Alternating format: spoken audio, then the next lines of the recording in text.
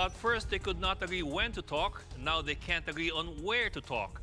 After aborting the peace talks scheduled for this month, the president now says any peace talks with the communist rebels should be held in the country. But the rebels say that is simply not going to happen. Maricel Halili with the story. The palace says it prefers the peace talks between the government and the CPP, NPA, NDF to be held in the Philippines instead of Norway. Presidential spokesperson Harry Roque says President Duterte sees no reason why there is a need for peace talks to be held in a different country. The President has emphasized that this is a talk between Filipinos, should be held in the Philippines. Hindi naman po kinakailangan pa na mangibang bayan para makipag-usap kapayapaan lamang. No? Dahil tayo naman po ay lahat ay Pilipino. But for Communist Party founder Jose Maria Sison, it will be the end of peace negotiations if the president dictates the venue. May pagka-control freak si Duterte. eh.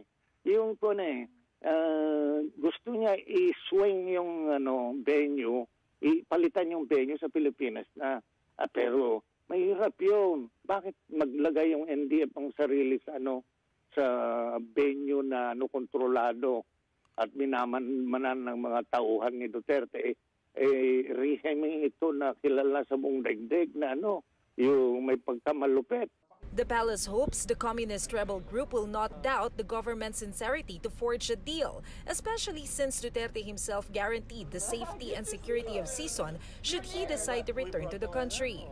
That would be sad, but I'm sure um, that statement will not be conclusive kung ano man ang magiging outcome ng usapin.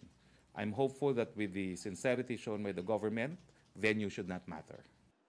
Sison says he is still waiting for an important portion of the comprehensive agreement on social economic reform before he returns to the Philippines. kapag ano yung ano man lang yung TASER yung comprehensive agreement on Yes. social and economic Oh, yeah, reform oo.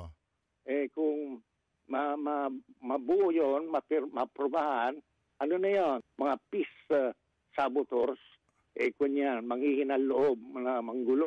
The NDFP has also released a copy of the stand down agreement, which aims to end hostilities in preparation for the resumption of the peace negotiations. The palace, however, does not agree on publicizing information regarding the peace talks. We find it somehow irregular that the NDF has taken it has taken upon itself the role of informing the public what has been or what has not been agreed upon. No?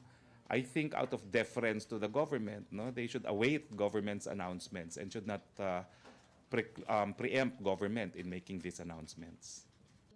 For News 5, Maricel Halili, we are One News.